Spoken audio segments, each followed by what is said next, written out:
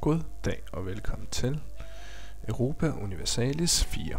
Mit navn det er Christian Hansen, og i dag er vi stadigvæk i sæson 1, hvor vi er i Frankrig, og vi er nået til episode 12, hvor øh, jeg var lige ved at dumme mig, for jeg var lige ved at gå videre i forhold til tiden. Øh, fordi jeg kunne læse hende, at den 23. marts øh, 1466 ved den der expire, og det vil være rigtig skidt, for så har jeg nemlig slet ikke få den brugt. Men technology cost minus 5%. Så den skal jeg huske at have brugt. Samtidig så er vi også sluppet af med det der plus 10%, regner jeg med. Yes, det er vi også. For at have, hvad hedder det, øh, hvad det vil sige? ja, for at være frem foran i tiden. Så vi får købt det her nu. Military. Tactics. Bum, bum, bum. Super. Ikke dårligt. Og heroppe. Administrativ. Fik, får vi production efficiency. Næste gang kan vi faktisk åbne en ny af de her ID groups. Hvilket jo egentlig er meget rart. Kabinet, den har vi.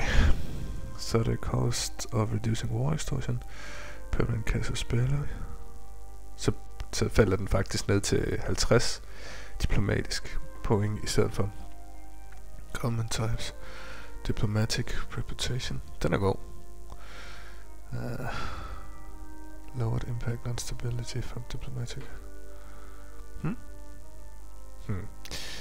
Ja, resten er sådan uh, hat og, og kyse, vil jeg sige.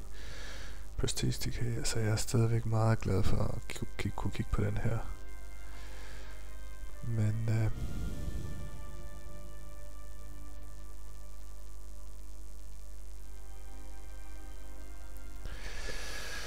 Jeg tror faktisk, det er den, vi snupper. Og der er faktisk kun tre ting, som jeg øh, er sådan super interesseret i. Den der er meget god, og den der er også okay. Men den der, øh, den der, og den der er rigtig god. Og så gør det heller ikke noget, at advisor cost kommer ned på det der. Så øh, det bliver den næste. Jeg havde egentlig troet, at det skulle være noget militært, men det, det bliver det ikke. Har jeg lige bestemt mig for nu. øh, skal vi se her, hvor langt ud 13 år. Det når vi ikke. Hmm. Ja, vi må se, hvor langt hen vi når, før vi er op omkring de der 1000 igen, som vi kan, som er maksimum vi kan holde. Så må vi jo bare købe det. Men der er en anden måde, vi kan bruge det på, det er der jo næppe. Vi kan bruge det på det der, vi kan også bruge det på at lave bygge bygninger, men altså, det tror jeg ikke, vi vil. Hvis vi kigger på det andre forskellige ting, så er vi snart færdige med at annexe. Øh, snart færdige med at annexe, hvad hedder det, Orléans. Det glæder jeg mig meget til. Oh, Nobles ally with foreign power. Oh, det lyder ikke godt. The nobility was not fully subjugated during this age, and the nobles could and did strike independent alliances with foreign princes. The crowns of Europe might not have liked it, but they were normally hard pressed to prevent these kind of activities. Hmm. Okay. Diplomatic assault. Mest noget administrativt. Eller 25 prestige. Igen. Prestigen er det, jeg har sværest ved at få op at køre igen. Så jeg tror, at det bliver øh, den administrative power. Hm. det ville være rart. Det ville være fedt. Det er der bare ikke penge til. Men vi kunne måske, hvis det er muligt, købe en, en toer. Det skal i hvert fald ikke være military, fordi der har jeg, jeg har rigtig military power til at følge med der. Så i stedet kunne vi bruge på ham her. Vi skal bare op og 70 dukater. Og så i stedet for at repay det sidste lån, så øh, tror jeg, vi vil gøre det. Men øh, se, oh, ups, vi skal også lige ned og se, hvordan det kører her. Vi har Elemt. Elm, Elmt. det er et dumt navn, det der. Øh, jeg, jeg tror, vi sparer sammen her. Det tror jeg altså, jeg har tænkt mig at gøre. Og så holde mig lidt foran de andre.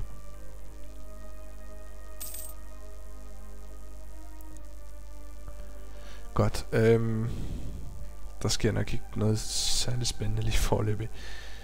skulle selvfølgelig lige være om, når den her er færdig med at X. Hvilket den er snart. Men øh, så vender jeg tilbage, når der sker noget spændende. Hæng på. Så skete der faktisk noget, og det var ikke det bedre, fordi vi mistede vores kardinal. Hvilket jo var pænt træs, for nu er både Castilla og Portugal 2 og Hesse har også to. Det er umuligt at bevæge sig ind på det her. Øh, den nye, der er kommet ind, kan jeg ikke... Åh oh, nej, det er der jo ikke. Jo, der er jo selvfølgelig kommet en ind. 40... Okay.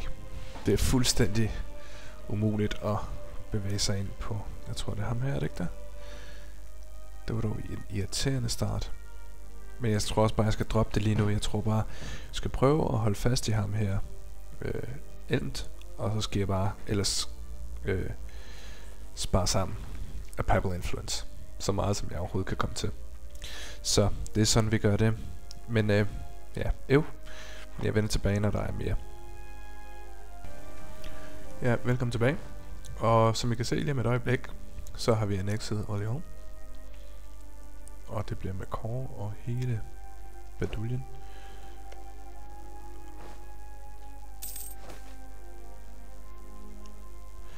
When a smaller country gives up its to grow, there's a lot of adapting to what...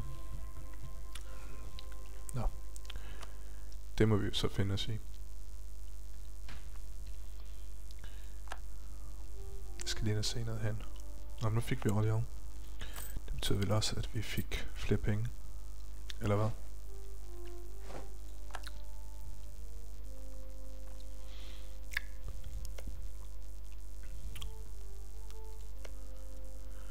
Improved relations er der masser af her. For Ovranje.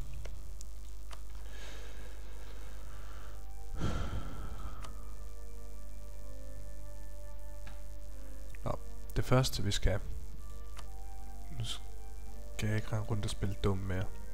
Det er offer alliance til dem herovre. Purple State. Så jeg kan få nogle billige, billige point til det her. Okay, der er 12 point ned. Lige nu der grinder jeg bare. Lige så meget jeg kan få få sammen. Øh.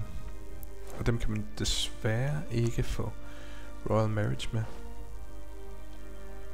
Jeg kan ligesom se på, at jeg sådan der kan improve vores relations, fordi jeg ved ikke rigtig hvor... Åh, oh, den var faktisk ikke ret langt med. Men det går nok. Lad os bare få den op til, op til det maksimale. Det betyder vel egentlig også, at ja, vi kan stå endnu mere nu. 81.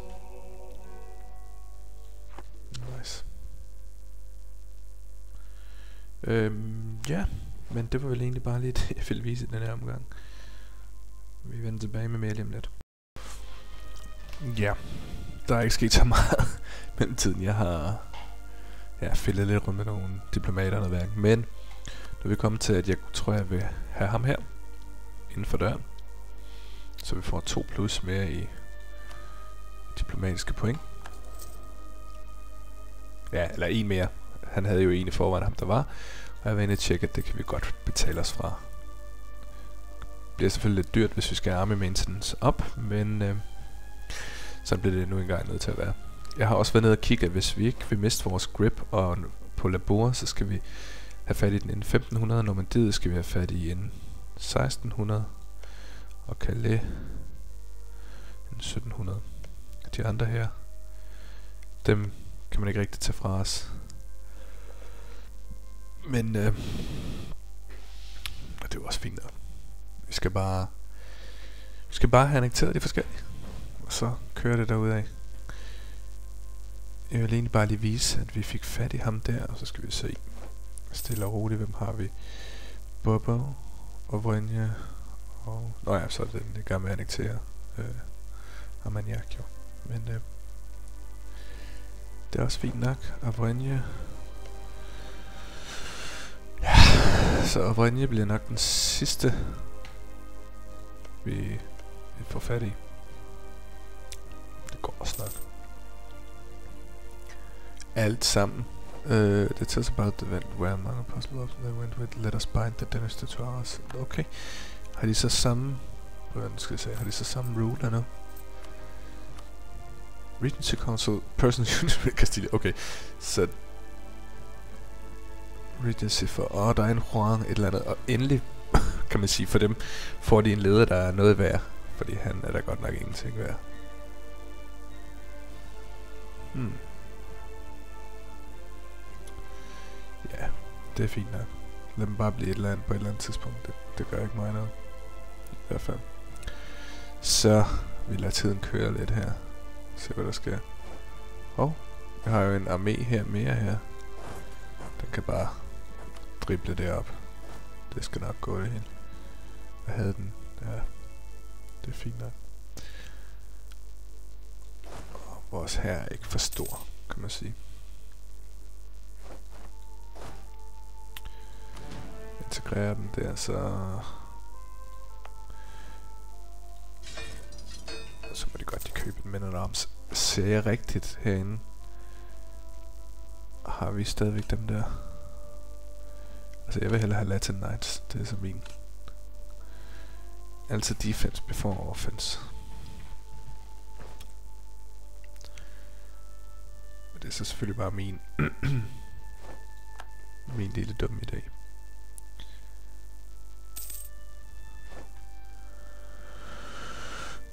Lad os prøve at se, vi har efterhånden sparet rigtig, rigtig meget sammen herinde. Men der er også langt op. Ups, der er kommet en der.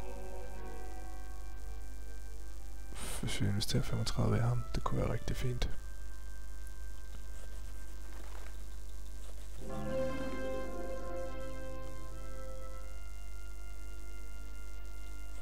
Lad os bare gøre det.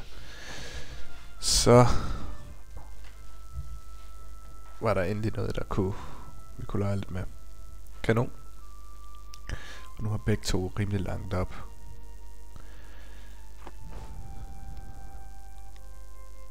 Det var faktisk rigtig fint. Så, nå, det blev bare stadigvæk same old, same old. Jeg, øh, jeg vender tilbage, når der sker noget mere. Så fik vi endnu en ting, unhappiness among the peasantry, det er så irriterende. Gain one. Ja. Vi skal bare ikke... Ja. Vi skal bare ikke af med... Hov, hvordan det skal se, hvad det koster egentlig. Boost vores stabilitet. Spændt. Men så vil vi ikke have... Jo, så vil vi stadigvæk have positiv stabilitet. Det vil stadigvæk koste en milliard million. 150 noget stil. Det gider jeg ikke. Eller hvad?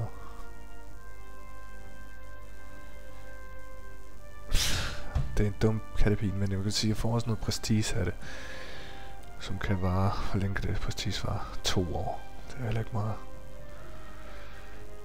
Jeg sparer nogle penge. Penge er ikke det værste at miste, men altså, når man ikke har dem, så er det slemt. Jeg gider ikke have alle de der renter og pjat. Vi tager sgu den der. Undskyld. Vi tager sørg med den der.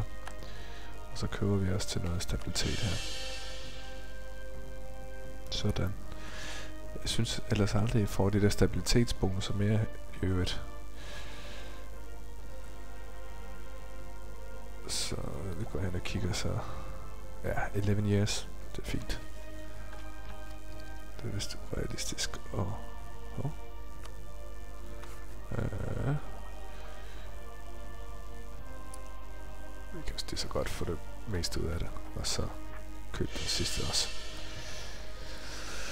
Sådan der. Så er der også lidt flere penge. Det hele bliver gjort op i penge, men altså sådan er det jo.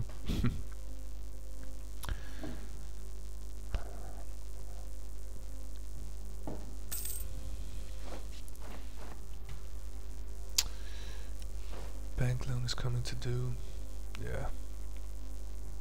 Så lige snart jeg kan repay det, så tror jeg faktisk, jeg gør det. Men så skal vi op over 60. Så... Decline warm? Nå. Det må de da selv om. Jeg bliver ved med at falde længere og længere ned på den her liste. Det er da irriterende. Administrative skills. Et to rank. What? Huh. Det synes jeg klarer mig dårligt åbenbart. Administrativt klarer mig godt, men de andre ting klarer mig heller til. Nå, det må de om. Øh, 24. Ups, mindset på vej op til mig. Ja, det er så ikke der. Jeg vil gerne være 10 foran. Øh, det var jeg det vist også. Men øh, nu er jeg så endnu mere foran. Kan man sige. Hvad har vi herinde? Reclaimer show. Home by France. Ja. Border friction. Der er nogle ting her, som jeg bare ikke kan komme af med, vel? hmm. Aggressive expansion kan jeg da komme af med, så jeg kan komme op på 40 mere end det her. Det er jo ikke nok til at spørge, om de vil være til at spørge, om de vil være mine vasaller. Desværre. Så. Men, håbet er ikke ude. Vi øh, spiller lidt videre, og så ser vi, hvad der sker længere frem. Ja, det er meget ked af, men jeg kom til at gå i krig, uden øh, at I kigger med. Ja, det vil sige, det gjorde jeg ikke. Østrig kom og sagde, hey Østrig, kunne I ikke tænke jer at... Eller Østrig kom og sagde, hey Frankrig, kunne I ikke tænke jer at hjælpe os med den her krig? Og så sagde jeg, mm, det kunne da godt være. Så øh, vi, vi er mod Bavaria og Polen. Og vi må se. Polen ligger langt væk fra Østrig. Og Bavaria, det ligger...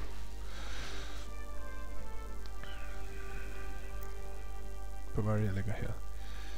Og man ikke de går direkte i, i, i gang med at gå i flæsket på Østrig. Jeg kan stå herover og sige, ja, det går nok.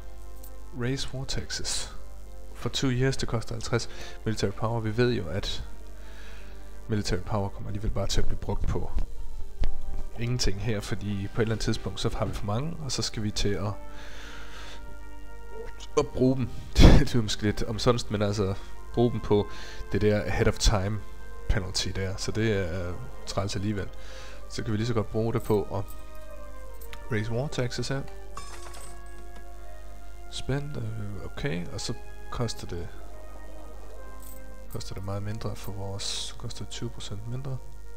Fint. Det er den måde at bruge det er det military på.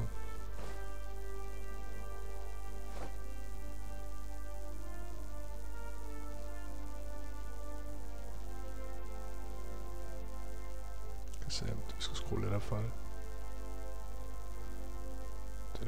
helt sikkert, det skal vi ikke, som det ser ud lige nu.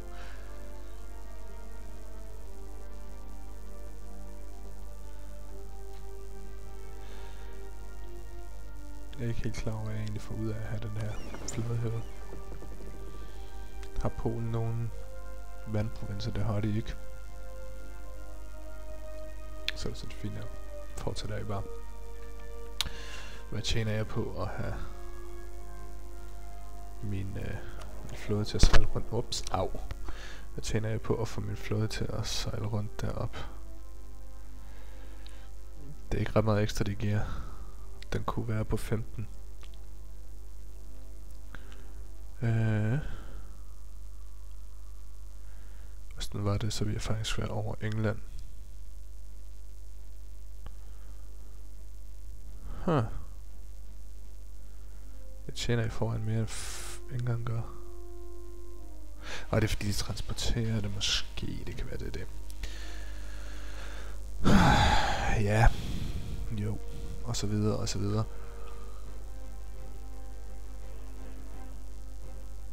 Der står 2,34 nu. Og det koster 64 at sætte den op. 2,34. 2,34 og...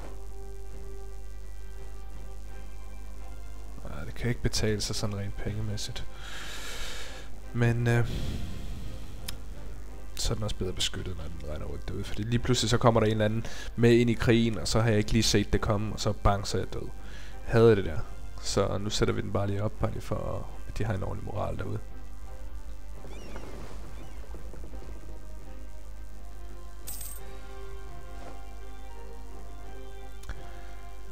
Så kan de også gå rundt og have det fint derude. Um, ja, vi har også noget pappers her.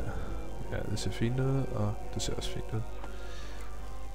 Så vi har faktisk to potentielle kardinaler. Vi har ikke været ret heldige i det der Courier Controller spil der. Uh, det ville være sådan at sige. Så. Øh, uh, Waltz has become. He's loyal to France, who invested 40 in this car and he's replacing De La Cueva. Og det var en fra Castilla. Jamen, det var næsten også umuligt, at det ikke skulle være enten Hesse, Castilla, så var det... Og for. Hmm, hvad nu hvis jeg annekterede dem? Kan dem, som jeg så fik ham med. Gjorde jeg næppe. Nå, nu koncentrerer vi os. Det var rigtig fint at få voldsendt. Så mangler vi stadigvæk ham Elemt her. Eller Elmt. Elmt. Så øh, ham beholder vi her, og så sparer vi lidt sammen herop. Satser vi kun på ham, og så sparer vi resten op. En fedt at få en ind. Kanon. Øh, jeg tror, jeg kører lidt videre, og så vender jeg tilbage lige om lidt. Ja, så er vi tilbage igen. Og det her, det var så, hvad Freden endte med. Bavaria vil sige Augsburg, Salzburg og Niederbayern til dem. De vil betale 60 øh, dukater. Det kostede den diplomatic power og prestige, aggressive expansion og bla bla bla. Godt for... Ej, så fik de lige lagt sådan en, en ring hele vejen rundt her. Og Bavaria har... Memmingen herover er fuldstændig isoleret og sammen med... Ej, det er fint. Det er fint. Godt, jeg er gode venner med dem. Kan man sige. Så øh, stærkt. Til gengæld så har jeg lidt problemer med at få vasiliseret dem herovre. Ej nu, vi må prøve at se. Meget de stoler på os hen ad vejen. De okay. Det spæder jeg mister det over hele strækningen, havde jeg sagt. Mister det mange forskellige, og det vil også koste mig 200 og bla bla bla for at blive administrativ. Så vi vil hellere fordele over de tre. Det var godt nok. Godt nok, vi skal... Jeg prøver at køre lidt videre, se om der sker noget. Ja, så skete der noget igen. Uh, vi har lige fået at vide, hvor gode diplomater vi havde før i forbindelse med noget med Savoy. Men nu har vi, we have appointed too many inbred nobles to the position of diplomat. They are making fools of themselves, which is probably expected, but what is worse, they are also embarrassing our country. Lose... Så, uh, jeg skal fabricate nogle claims lige i øjeblikket. Nej, det skal jeg ikke. Ja, diplomatic power, det er jeg ikke værd med lige nu, fordi det der virkelig er mangel på, og der var jeg også virkelig er bagefter. uh, ret meget bagefter faktisk. Så vi tager prestige hit, det var dog irriterende. Men øh, det er også det, der gør det her spil så, så dejligt spændende. Man kan gøre sådan. Så, men når vi, når vi engang får øh, Armagnac, min plan er, når vi får Armagnac, øh, vassaliseret, nej, annekteret hedder det, så skal vi have en ny krig mod England, som højst sandsynligt kommer til at handle om at få fat i Normandiet. Det vil sige, det gør det så ikke. Fordi Labour hernede har jeg tænkt mig at... Hvad hedder det? Øh, at det, det der målet for vores øh, ting, den sidste provins, jeg vil tage herover, det er Calais. Big time, fordi det er den, der første 1700 et eller andet. Jeg kan jo vente milliard millioner år. Oh, hvad skal det her? You can new idea. Ja, og det, det er det, jeg ikke vil, fordi jeg kan jo stå og bruge alle mine diplomatiske point på det her. Men øh, i virkeligheden, så det vi skal have fat i, det er jo det andet herovre. Nemlig øh, vores diplomatiske teknologi skal lidt op. Det vil jeg godt bruge nogle af mine point på i stedet for. Øh, jeg ved ikke, hvor meget det koster. You need 404... Ja. 474. Vi skal nok nå det op. Selvom vi er nået bagefter. Ja, vi kan prøve at gå ind og kigge på, hvor langt bagefter vi egentlig er. Det kan vi se her. Ovranje 565. Vi er 565. Det må give 17, ikke? Og vi er kun 15. Kan det passe det? Nej, 16 giver det selvfølgelig. Og de er også 16. Før der var vi virkelig dominerende magt. Det er vi slet ikke mere, hvad teknologi angår. Det er da sådan lidt, uh, lidt skidt. Prøv lige at vente lidt. Vi har 15 der, og jeg har 16. Okay, ja. Jo, så er de jo lidt foran. Men øh, så må jeg bare komme op på siden af dem jo. Og der er nogen, der har 17 her. Milan 16. Hmm. Det er da lidt irriterende. 16. Og jeg har kun 15. Ja, så skal vi slet ikke ind og, at messe med det der. Det ville da være, det ville være tåbeligt. 90. Godt op på 95. Og jeg er faktisk 30. Vi kunne jo på et eller andet tidspunkt, så giver vi gas, så slår vi til, og så, og så har vi lige pludselig to muligheder igen. Det bliver bare ikke lige endnu. For vi havde kun lige nøjagtigt det samme, som Bourgogne havde på den anden. Nå, lad os gå ned og kigge. Vi når tids nok øh, at få diplomatisk power nok. I øvrigt, så vidt jeg husker ham, vores næste monark, eller vores ære, han havde bedre diplomatic skills, det havde han også. Så får vi det bliver den lidt bedre. Til gengæld går vores... Går den her ned. Uh, uh, det vil så gå 2 ned, ikke? 6. 3 plus 1 plus 2, ja. Det er så 6, men det gør heller ikke noget, fordi på den tid, der er vi også flere århundreder foran. jeg har sagt. I hvert fald langt foran. Hvad har vi af muligheder her? Reclaim? Nej, nej, nej. Gider ikke nogen af dem der. Hvad skal der egentlig til for, at vi får nogle af dem her? Ja.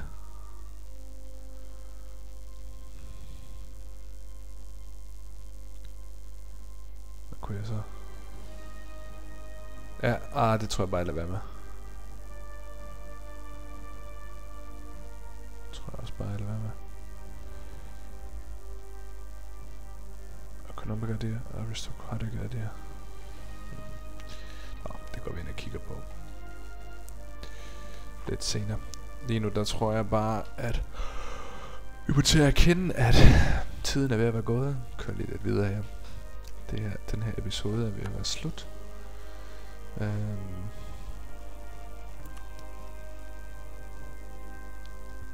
så småt i hvert fald. Der sker jo ikke rigtig så meget mere.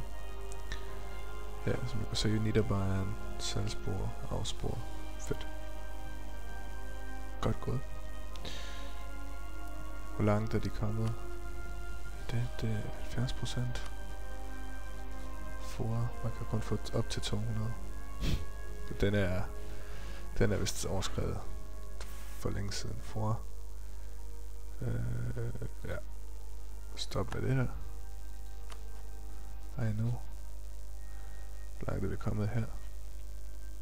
Ej, der er vi også godt kommet et godt stykke. Det behøver vi heller ikke at fortsætte med. Der er så mange andre, som vi kan gå ud og imponere. Bobberne.